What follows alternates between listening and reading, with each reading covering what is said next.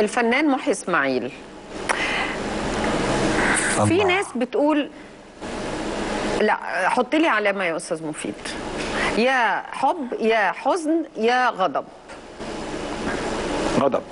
غضب.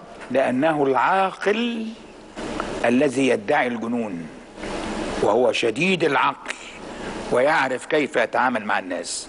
أنا غاضب لأنه ابتلع زجاجة كاملة من أقراص جنون العظمة.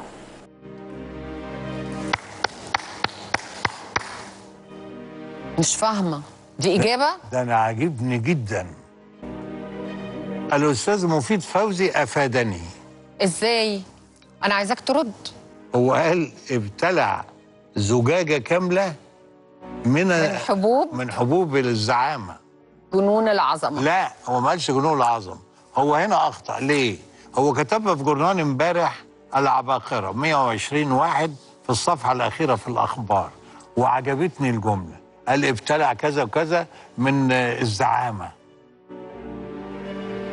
أنا زعيم على نفسي لكن لما عاوز أشخص نفسي أنا عبقري.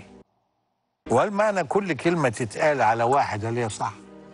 قد تكون دعابة وقد تكون ينقصها الحقيقة. وقد يكون ينقصها الدقة. لكني أحب الأستاذ مفيد فوزي.